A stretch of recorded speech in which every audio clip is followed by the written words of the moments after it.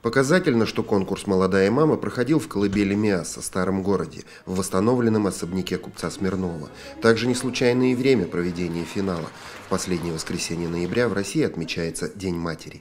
Это действительно самый-самый добрый, самый-самый благодарный праздник, потому что мы все благодарны своим мамам за то, что они у нас есть, за то, что они нас воспитали, за то, что они нас любили.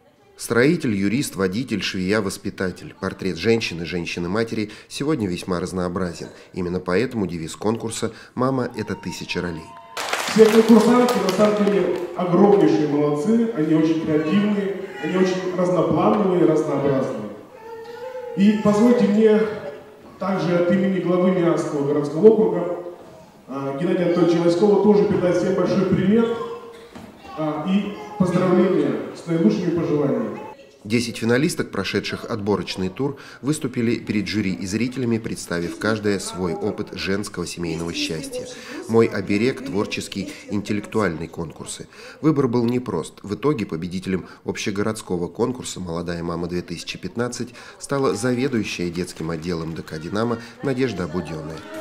Все тебе спасибо говорю.